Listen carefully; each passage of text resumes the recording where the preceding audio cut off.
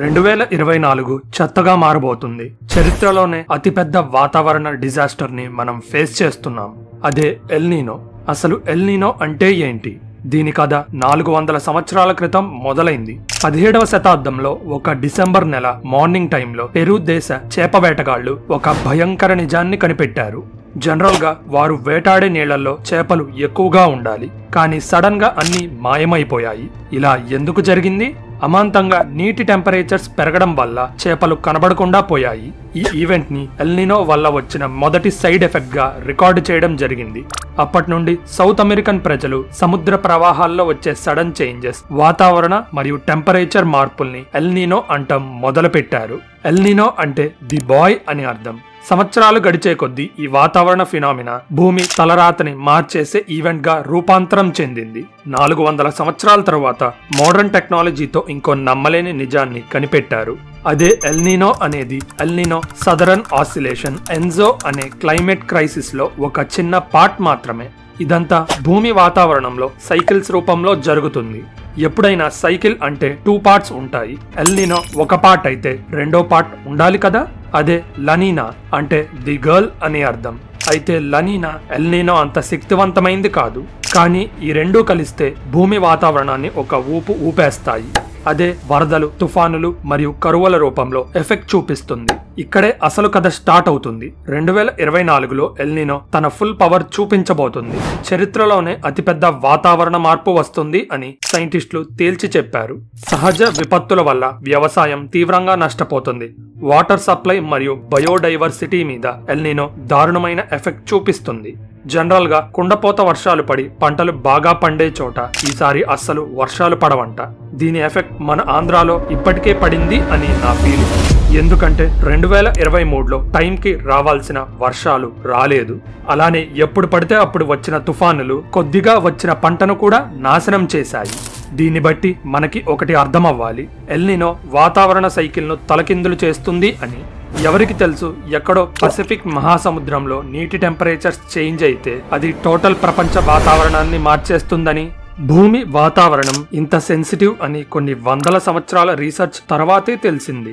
ఏమో మనం చేసే చెత్త పనుల వల్ల ఇంకెన్ని చూడాలో. న్యూక్లియర్ పవర్ ప్లాంట్స్ లేని రోజుల్లో కార్బన్ డైఆక్సైడ్ను మనం దారుణంగా టన్నుల టన్నుల కొద్ది వాతావరణంలోకి రిలీజ్ చేస్తున్న టైంలోనే ఎల్నినో మరియు లనీనా ఉన్నాయి. ఎల్నినో అండ్ లనీనా ఎన్జో అనే పెద్ద క్లైమేట్ చేంజ్ సైకిల్లో ఒక పార్ట్ అసలు ఇక ఎన్జో ఏం చేయగలదో తలుచుకుంటేనే వణుకు పుడుతుంది. ఎల్నినో అండ్ లనీనాలో ఎల్నినో వల్ల వేడి ఎఫెక్ట్స్ ఉంటాయి. ఇది ఎందుకు జరుగుతుంది? జనరల్గా పసిఫిక్ మహాసముద్రం మీద వీచే ట్రేడ్ విన్స్ వీక్ అయ్యి రివర్స్ డైరెక్షన్లో వెళ్తాయి. దీనివల్ల సముద్రం పైన ఉండే వేడి నీళ్ళు పడమర డైరెక్షన్లో వెళ్ళడం మానేసి రివర్స్లో తూర్పుకు మారి సెంట్రల్ మరియు ఈస్టర్న్ పసిఫిక్ ప్రాంతాల్లోకి వస్తాయి. నీళ్ళే కదా రివర్స్ డైరెక్షన్లో వస్తే ఏం జరుగుతుందిలే అని మీరు అనుకోవచ్చు. కానీ అక్కడే అసలు తేడా వెచ్చటి నీరు వెనక్కి రావడం వల్ల యావరేజ్ టెంపరేచర్స్ రెండు డిగ్రీస్ పెరుగుతుంది. ఇదొక డామినో ఎఫెక్ట్ లా ప్రపంచ వాతావరణాన్నే మార్చేస్తుంది. హలో ఫ్రెండ్స్ మీరు ఇంకా ఇలాంటి ఇంట్రెస్టింగ్ వీడియోస్ చూడాలంటే ఛానల్ సబ్స్క్రైబ్ బటన్ నొక్కి బెల్ ఐకాన్ క్లిక్ చేయండి. సౌత్ అమెరికాలో కుండపోత వర్షాలు మరియు వరదలు ఆస్ట్రేలియా అండ్ సౌత్ ఈస్ట్ ఏషియాలో కరువు వస్తుంది. ఇది ఒక ఎత్తు అయితే ఎల్నినో గ్లోబల్ టెంపరేచర్ను కూడా పెంచుతుంది. పంతొమ్మిది వందల తొంభై ఎనిమిదిలో చరిత్రలోనే అతి శక్తివంతమైన ఎల్నినో ఈవెంట్ను చూశాం. సో హిస్టరీలో వన్ ఆఫ్ ది హాటెస్ట్ ఇయర్గా నైన్టీన్ నైన్టీ ఎయిట్ రికార్డు సృష్టించింది. ప్రపంచ నలుమూలల మనం చేసే పనులు ఎల్నినోకి లింక్ అవుతాయి. అంటే మన వల్ల గ్లోబల్ వార్మింగ్ ఎక్కువయ్యి ఎల్నినోని ఇంకా పవర్ఫుల్గా తయారు చేస్తుంది. అయితే రెండు వేల ఇరవై నాలుగులో మనం ఏం ఎక్స్పెక్ట్ చేయాలి? సెంట్రల్ యూరోప్లో ఎక్కువగా కరువు వరదలు వస్తాయి. రైన్ మరియు ఎల్బే నది పొంగుతాయంట. ఇంకా డ్రమాటిక్గా లాస్ట్ హండ్రెడ్ ఇయర్స్లో రికార్డ్ అయ్యే హాటెస్ట్ సమ్మర్ రెండు వేల ఇరవై నాలుగు అవుతుంది అని సైంటిస్టులు చెప్తున్నారు. ఎల్నినో సంగతి ఓకే. మరి లనీనా మ్యాటర్ ఏంటి? ఇందాక మనం మాట్లాడుకున్న ట్రేడ్ విన్స్ వెచ్చటి నీటిని ఇంకా ఫర్దర్గా వెస్ట్కి తీసుకొని వెళ్తాయి. దీనివల్ల ఏం జరుగుతుంది? పై లేయర్ వాటర్ పక్కకి వెళ్ళటం వల్ల లోతుగా ఉన్న చల్లని నీరు పైకి వస్తుంది. ఇది ఎలాంటి ఎఫెక్ట్ని చూపిస్తుంది? సౌత్ అమెరికాలో వెదర్ డ్రైగా మారిపోతుంది. ఆస్ట్రేలియా అండ్ సౌత్ ఈస్ట్ ఏషియాలో కొండపోత వర్షాలు మరియు అసలే చల్లగా ఉండే నార్త్ అమెరికాలో ఇంకా టెంపరేచర్స్ పడిపోవడం జరుగుతుంది. ఎల్నినో మరియు లనీనా వేరువేరు చోట ఎఫెక్ట్ చూపిస్తున్న ఈ రెండింటిని అర్థం చేసుకోవడం చాలా important. Advanced remote sensing satellites ద్వారా సైంటిస్టులు ఎల్నినో మరియు లనీనాను కేర్ఫుల్గా స్టడీ చేస్తున్నారు. అసలు ఈ రిమోట్ సెన్సింగ్ శాటిలైట్స్ అంటే ఏంటి?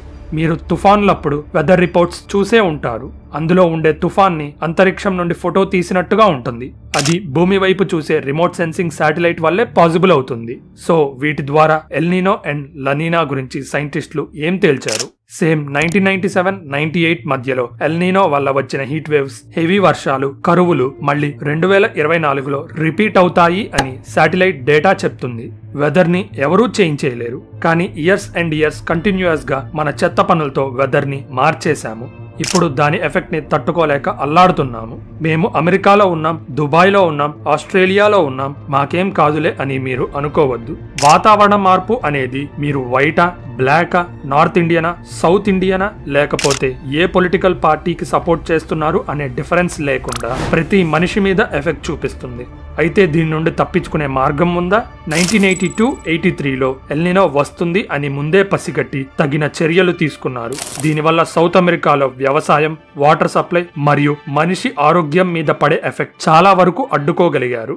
కానీ పెరు ఈక్వెడార్ దేశాల్లో ఎలాంటి ముందు జాగ్రత్తలు తీసుకోపోవడం వల్ల భారీ వర్షాలు పంట నష్టంతో ప్రజలు సతమతమయ్యారు.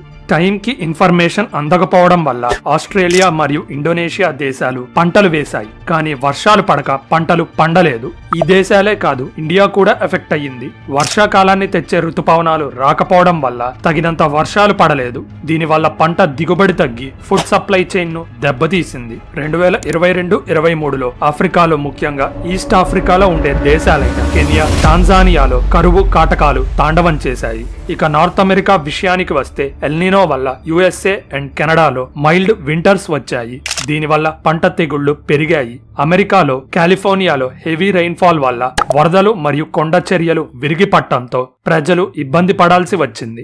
దీనివల్ల నిత్యావసరాలు సరుకులు పెరిగిపోయి స్టాక్ మార్కెట్ మీద నెగిటివ్ ప్రభావం చూపించింది. ఎల్నినో మరియు లనీనా అగ్రికల్చర్ మీద తీవ్రమైన ఎఫెక్ట్ను చూపిస్తుంది. కొన్ని సంవత్సరాల పాటు పంటలు ఫెయిల్ అవుతాయి. టూ ఇయర్స్గా మన ఆంధ్రాలో కూడా ఇదే జరుగుతుంది. నాకు తెలిసైతే స్టేట్ అండ్ సెంట్రల్ గవర్నమెంట్స్ ఇది ఎల్నినో వల్ల జరిగింది అని ఎలాంటి ప్రకటన చేయలేదు. నేను వెదర్ ఎక్స్పర్ట్ని కాదు కాబట్టి ఎల్నినో వల్లే పంటలు ఫెయిల్ అయ్యాయి అని అంచనాకి రావటం కరెక్ట్ కాదేమో. ఇలాంటి క్లైమేట్ చేంజెస్ నుండి మనల్ని మనం ఎలా కాపాడుకోవాలి? ఫస్ట్ ఆఫ్ ఆల్ ఎప్పటికప్పుడు వెదర్ అప్డేట్స్ తెలుసుకుంటూ ఉండాలి. మీకు అగ్రికల్చర్ లేదా హార్టికల్చర్ బిజినెస్ ఉంటే కరువుకి ముందే ప్రిపేర్ అయి ఉండాలి. నీటి వాడకాన్ని తగ్గించుకొని సంరక్షించుకోవాలి. వర్షపు నీటిని రెయిన్ వాటర్ హార్వెస్టింగ్ ద్వారా స్టోర్ చేయాలి. గార్డెనింగ్లో నీటి వాడకాన్ని తగ్గించాలి. ఇంటి వాటర్ పైపింగ్లో లీక్స్ ఉంటే రిపేర్ చేయించడం మర్చిపోకండి. వరద ప్రాంతాల్లో డ్యామ్స్ చెక్ చేయాలి. పక్కన ఉండే రాష్ట్రాల్లో వర్షపాతాన్ని కేర్ఫుల్గా గమనించాలి. ఎందుకంటే అక్కడ పడే వర్షాల వల్ల మనకు వరదలు రావచ్చు. వరదలు వచ్చే ముందు ముంపు ప్రాంతాల్ని ఖాళీ చేయించి నిర్వాసితుల్ని దూరంగా తరలించాలి. రెండు వేల ఇరవై నాలుగు ఒక వైల్డ్ సంవత్సరంగా మారబోతుంది. So get ready. ఇలాంటి ఇంట్రెస్టింగ్ ఫ్యాక్ట్స్ గురించి తెలుసుకోవాలంటే మన ఛానల్ సబ్స్క్రైబ్ బటన్ నొక్కి బెల్ ఐకాన్ క్లిక్ చేయండి. ఈ ఇన్ఫర్మేషన్ అందరికీ రీచ్ అవ్వాలంటే వీడియో లైక్ చేయడం మర్చిపోకండి. మీ సపోర్ట్ వల్లే ఈ ఈ ఛానల్ ముందుకు కదులుతుంది. So thank you for watching this is your Phantom signing off see you in the next one